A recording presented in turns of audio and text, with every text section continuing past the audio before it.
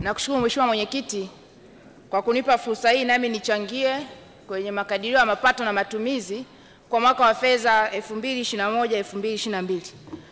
Kwanza kabisa Mheshimiwa Mwenyekiti, kabla sijachangia, nipende kuishukuru serikali kwa kweli kwa kufungua mnada wa Magena uliopo halmashauri ya mji wa Tarime ambao ulifungwa tangia mwaka 97 na tukawa tunakosa mapato mengi sana, maana ule mnada una multiply effect. Nashukuru sana na namshukuru sana waziri wa mifugo na naibu wake, na hii inaenda kuongeza mapato kwenye serikali kuu, lakini na kwenye halmashauri ya mji wa Tarime. Mheshimiwa Mwenyekiti, nita nitachangia bajeti hii kwa kweli ambayo kwa mbali imeonyesha matumaini makubwa kwa Watanzania, hasa kada ya wafanyakazi, japo wameweka tija kwa mbali sana, lakini ni mwanga mzuri ukizingatia miaka mitano yote tulikuwa hatujawakumbuka hawa wafanyakazi. Mheshimiwa Mwenyekiti, napenda kumshukuru Mama Samia Suluhu Hassan kwa kutoa tozo ya asilimia sita ambayo ilikuwa kwenye mikopo ya elimu ya juu. Kwa kweli imeenda kutoa unafuu mkubwa sana kwa wafanyakazi ambao walikuwa ni wanufaika wa mikopo hii ya elimu ya juu. Lakini pia kwenye kuondoa kodi kwenye code rooms, ibara ya 57 imeonyesha hii inaenda, inaenda kuweza kuchochea zaidi kilimo cha mboga mboga na matunda. Kwa na, na, na, nashukuru sana kwa hili na kwa kweli hili wanastahili pongezi kwa hilo. Lakini pia Mheshimiwa Spika, Mheshimiwa Mwenyekiti, ukiangalia ibara ya sabini na tatu wameonyesha kwamba wameondoa wameondoa faini kutoka elfu thelathini mpaka kuja elfu kumi ni jambo jema, na ningependa nishauri pia waweze kufanyia eva, uh, tathmini pia kwa faini isiwe uniformity elfu thelathini kwa magari ya abiria, kwa magari binafsi na kwa magari ya malori. Kama itawapendeza pia muweze kufanya tathmini akina, muweze kuchaji kulingana na aina, aina ya magari hayo ambayo nimeyataja. Lakini umeondoa kodi, umepunguza faini kuja elfu kumi kitu ni jambo kizuri sana, kwa sababu tunaajiri vijana wengi. Lakini hapo hapo, Mheshimiwa Mwenyekiti, wameweka kodi ya kuingiza matairi mapya ya pikipiki ambao ni hawa vijana, mmeondoa kutoka asilimia kumi kwenda asilimia ishirini na tano. Ina maana hapo mnakuwa tena mwasaidia hawa vijana. Kwa hiyo ningeshauri muiangalie hii, kama mnaweza mkaiache kabaki pale pale asilimia kumi. Mwisho wa siku watashindwa kununua haya matairi, watakuwa na, wanapewa adhabu ya matairi kuwa kipara barabarani, na unakuta hizi shilingi elfu kumi kumi zinajirudia mara mbili ukuta hujasaidia chochote. Lakini kingine, Mheshimiwa Mwenyekiti, ningependa kuzungumzia kwa haraka tu ibara ya 45 na 46 imezungumzia kuhusu uh, madiwani ambayo ilikuwa kwa kweli ni kilio kwa muda mrefu hapa, lakini mmeondoa kwamba mtakuwa mnawalipa posho wa mwisho wa mwezi serikali kuu kwa kwa halmashauri ambazo zina kipato kidogo, lakini pale pale mmeeleza kwamba mnafanya hivyo ili hao madiwani wasipige magoti kwa wakurugenzi, lakini pia kuongeza ufanisi kwenye shughuli hizi. Sasa nikawa najiuliza kwa nini mnaweka double standard kwamba zile halmashauri kumi na sita zenye vyenyewe waendelee kujilipa. Sasa kama wanaendelea kujilipa, muone kama inaweza katokea sehemu wakurugenzi wakaacha kuwalipa tu makusudi, wataenda bado kupiga magoti kwa wakurugenzi pamoja kwamba wana mapato makubwa ili wawalipe. Kwa ningeomba ili mliangalie, mweke tu kwamba serikali kuu mtalipa kwa madiwani wote bila kujalisha kipato cha halmashauri husika, lakini pia mmeweka kwamba ni mapato ya mwisho wa mwezi tu. Kuna kuna halmashauri zingine, mfano halmashauri ya mji wa Tarime, kuna kipindi kwa tunakopa mpaka vile vikao vya madiwani vya katikati hapa yaani vile vikao vile vinavyoendeshwa vinakopwa. Sasa sijui hilo mnaliangalia kivipi? Mheshimiwa Mwenyekiti, kingine kwenye nyasi bandia ni jambo jena ambalo linaenda kuchochea sekta ya michezo Tanzania, lakini napingana na nyie kuweka kwamba ni kwa majiji tu. Na, naomba sana muondoe, muweke kwa yoyote atakayetaka kujenga viwanja kwa standard ya kuweka nyasi bandia, basi aweze kupata huo msamaha, msamaha wa kuingiza nyasi bandia. Kwa mfano mkoa wa Mara tuna kiwanja cha Karume pale Msoma mjini, pale sio jiji, lakini kile kiwanja kinatumika kwenye ligi kuu tukitaka ukiendeleza kuweka nyasi bandia tutashindwa, maana mtataka tulipie kodi, wakati Dar es Salaam na hizo halmashauri za majiji ambazo nimesema zina vipato vizuri, wenyewe mnawapa msamaha. Hii naomba kwanza muitumie vizuri. Shinyanga pia inatumika na kwingineko ambapo sio majiji. Kwa muache wazi, iwe manispaa, iwe mji, iwe jiji, watakaokuwa tayari kujiendeleza kuweka nyasi bandia, basi wapate msamaha, msamaha wa kodi. Mheshimiwa Mwenyekiti, kingine ambayo wewe naipongeza serikali ni ya kuona kwamba wapunguze muda wa mkataba kwa askari polisi kutoka miaka kumi na mbili kuhusu kuja miaka sita na ikiwezekana mwende mpaka miaka mitatu kama ilivyo kwa JWTZ. Lakini hapa mmewasahau watu walio kwenye idara moja, askari magereza na askari wa zimamoto, na wenyewe mikataba yao ni miaka kumi na mbili na wenyewe waweze kushushwa kama askari polisi iwe miaka sita na baadaye huko mwashushe pia kuja miaka mitatu. Lakini pia Mheshimiwa Mwenyekiti, ukizingatia kwa mfano maslahi yao, wako idara moja hao Askari polisi mwenye degree analipwa gross ya laki nane sitini anapewa asilimia kumi na tano ya taaluma, anapewa na hela ya makazi lakini mwenzake aliyoko askari magereza analipo mwenye degree analipo laki saba sabini tu, hapewi asilimia kumi na tano ya taaluma wala hapewi fedha za, za accommodation. Kwa naomba muweze kuwapa wawe na usawa, kwa sababu wako kwenye idara moja. Mheshimiwa Mwenyekiti, kingine uh, ni kuhusiana kwa kweli na tozo ambazo tumezintroduce ibara ya 88 ya sheria ya posta na mawasiliano ambayo inaelekeza kukata kati ya shilingi kumi mpaka shilingi elfu kumi kwenye transaction hizi za mobile transaction. Hizi fedha zinaweza kutoa takriban trilioni moja na bilioni mia mbili hamsini na nne na wakati unasoma hapa, Mheshimiwa Waziri, ulielekeza kwamba zinaenda zinaenda kwenye sekta ya afya, na ikizingatiwa sekta ya afya hatujawahi kufikia azimio la Abuja ambayo anatakiwa tutenge asilimia kumi na tano ya bajeti kuu. Sasa kama hizi trilioni moja pointi mbili tano zitaenda huko, na najua hizi fedha kwa hivi mlivyoziweka lazima zitakuwa zinapatikana automatically, ziweze kuwekewa ring fenced na zihakikishe kweli zinaenda kwenye sekta ya afya kama ambavyo umetueleza hapa, sio mmewakata wa Tanzania afu baadaye hizi fedha haziendi. Tunahitaji mathalan, mtukiamua kuwekeza kwenye miundombinu. Katika hii trilioni moja pointi mbili tatu nne tukichukua bilioni mia nane tu tunaweza kujenga vituo vya afya elfu mbili. Tunaweza kuvijenga ambavyo hamjavijenga mpaka leo tangia tumepata uhuru wetu.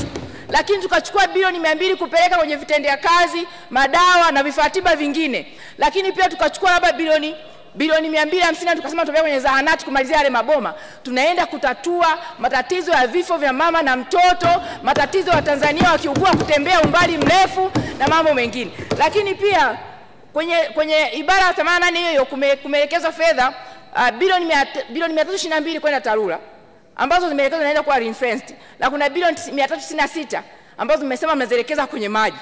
Kwa mwaka wa fedha umepita zilienda tu bilioni 292. Sasa hizi bilioni 396 kama kweli zikienda kwenye maji na kwa bajeti walioomba ya maendeleo, na maana kuna fedha zitabaki. Kwa hiyo tunatarajia miradi ya maji tukija hapa mwakani imetekelezwa kwa zaidi ya asilimia mia moja. Zote hizi ziwe ring fence, Mheshimiwa Mwenyekiti. Lakini pia Mheshimiwa Mwenyekiti, ukisoma dhima ya mpango wa tatu wa maendeleo ya taifa unasema ni kujenga uchumi shindani na viwanda kwa maendeleo ya watu, na ukisoma pia ilani ya CCM ibara ya nane mmesema mnaenda kukuza ajira, mnaenda kuweka ajira kwa takriban milioni nane. Ukisoma ibara ya kumi na tatu mnajenga Tanzania ya viwanda.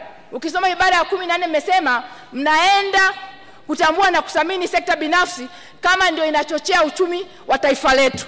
Lakini ibara ya 15 mmesema kwamba mtaendelea kutambua sekta binafsi kama ni injini ya kuchochea uchumi wa taifa letu, na hivyo mtaulinda na kuendeleza hii sekta binafsi. Sasa tunatarajia mu, mu, muweze kuyaishi haya mambo, lakini ni kinyume. Mheshimiwa Mwenyekiti, ukiangalia sasa hivi viwanda vingi vimekufa wala hata havihuishwi havi, havi lakini pia wawekezaji, mazingira sio rafiki kuweza kuvutia wawekezaji waje kuwekeza Tanzania. Sasa ili uweze kuenda na hii ambayo imeonyeshwa kwenye ilani yenu ya CCM, tuna ni wajibu sasa sasa hivi sera ya viwanda iweze kuwa attractive kwa investors waje kuendeleza viwanda vyetu hivi, muweze kuona vikwazo vilivyopo. Mathalan kule kwetu kanda ya Ziwa kuna viwanda vya pipi vilianzishwa, la kailo ambayo alienda kuzindua Mheshimiwa hayati na Jambo Sweet Kenya ndio wana supply pipi kutoka Kenya kwa wanaleta huku, kwa sababu wao hawana kodi kwa, kwa, kwa pipi ambazo wana export. Kwa Tanzania kuna asilimia ishirini na tano kama wana, wana import glucose na sukari kuja kutengeneza pipi hapa, lakini pia wana VAT, kwa wanashindwa kukompiti. Hivi viwanda vinakufa na mnaenda kuvifungua. Mheshimiwa Magufuli anaenda kuvifungua Jambo Sweet na hiyo Alakeo, kisa hivi inakufa, ajira nyingi zinapotea, mwisho wa siku hata mapato SDL na vingine mnakosa lakini pia viwanda vya matrela tunajua tulikuwa na viwanda takriban kumi hapa Tanzania. Sasa hivi imebaki vitatu tu, na hivyo vitatu vinasuasua. Kwa nini? Matrela yanaagizwa kutoka nje, China, German na kwingineko. Hawa hapa ndani wanashindwa kukompiti kwa sababu, na nimesoma, kwa sababu import kuingiza matrela mmeweka asilimia kumi tu. Sasa ili tulinde viwanda vyetu, na shauri kwanza tupata na mapato, tuweke asilimia ishirini na tano ili sasa kama watahitaji kuingiza hiyo material iweze kompiti na viwanda vyetu hapa. Lakini hata hivi viwanda na vyenyewe tuvitunze, Mheshimiwa Mwenyekiti, tuvisaidie, tuvipunguzie kodi. Tukitengeneza material hapa Tanzania, tutazalisha ajira nyingi, tutapata SDL, tutapata pay as you earn na, na, na, na, na, na, na, na kodi zingine ambazo ni indirect zitapatikana. Uh, Mheshimiwa Mwenyekiti, ni jambo la kushangaza sana. Ukiangalia Tanzania hatutengenezi magari, lakini import wameweka asilimia ishirini na tano material ambayo kuna Watanzania wanatengeneza asilimia kumi. Nakuomba sana Mheshimiwa Miguru muirudishe, muweke asilimia ishirini na tano itaenda kuongeza mapato, mapato, mapato, mapato ya taifa. Lakini kingine Mheshimiwa Mwenyekiti, kwenye hizi mmeondoa me, me, msamaha kwenye taa za sora, wakati mnajua kabisa kuacha hizi takwimu ambazo mnazika kwenye madaftari, kwenye vitabu. Watanzania wengi, kaya nyingi za vijijini hawana umeme, hawajafikiwa na umeme. Tunategemea sola za umeme wa jua, taa za umeme wa jua, ambao bidhaa zao pamoja kwamba kuna msamaha wa kodi, bado zilikuwa ziko juu sana. Sasa leo mnaondoa ili hali mnajua kabisa umeme hujamfikia kila Mtanzania kule vijijini, kila kaya haina umeme. Kwa mimi nashauri warudishe msamaha kwenye vifaa vya umeme wa jua ambavyo ni ghali sana, ili kuweza kuwasaidia Watanzania ambao wamejiwekeza kule. Leo kuna saluni, kuna mashine sijui za kusaga, watu wanasindika na nini, mnavyoweka mnaua kabisa uchumi kule vijijini. Kwa muondoe kwanza pale mpaka pale ambapo tutajihakikishia kwamba kila kaya kijijini ina umeme, ndio muweke sasa, ndio muweke hii hii- asilimia ishirini na 25 ambayo kusema kwamba wapate uwiano sawa.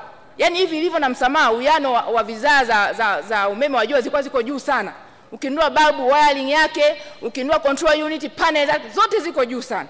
Lakini pia nilikuwa naomba sana pampu zinazotumia sola, umeme wa sola, nazo pia mzipe msamaha, zinaenda kuchochea umwagiliaji kwenye watu wale wa ma greenhouse huko vijijini. Ukiwa na zile umeme wa sola unaweka unasaidia, lakini pia wanaofuga samaki and the like. Kwa naomba sana Mheshimiwa Mwenyekiti, Mheshimiwa Waziri waangalie hili ili tuweze kuchochea sekta ya kilimo na mifugo huko kijijini katika kusaidia kwamba kuhakikisha kwamba inachochea kwenye uchumi wa taifa hili. Na mwisho tuhakikishe kwamba hii miradi ya kimikakati kwa kweli inamalizika on time kama SGR. SGR ikimalizika itasaidia sana kuchochea uchumi wa taifa letu, Mheshimiwa Mwenyekiti, itasaidia sana na sio tu kuchochea uchumi, itapunguza hata na ajira ambazo zinapatikana ambazo zinatokana kwa sababu ya, ma, ya malori makubwa kuchangamana na, na a, a, magari, mabasi na vitu vingine kama hivyo. Tukimaliza SGR kutoka Dar mpaka, mpaka Mwanza, ina maana tunaenda kukuza uchumi. Ukisoma transport economy itakwambia one of the moja ya vitu ambavyo vinasaidia na kuchochea kwenye uchumi ni hizi reli. Tuko na miundombinu imara ya reli ambayo itasaidia kusafirisha eh? Kwa naomba sana kama fedha tumezitenga hapa ziende tuweze kumaliza huu mradi kwa wakati, mheshimiwa mheshimiwa mheshimiwa mheshimiwa mwenyekiti. Um, nimalizie tu kwa kusema maendeleo ya watu it includes elimu, maji, umeme na miundombinu ya barabara kutoka vijijini ambavyo ndo wanalima kuja kuja huku mijini.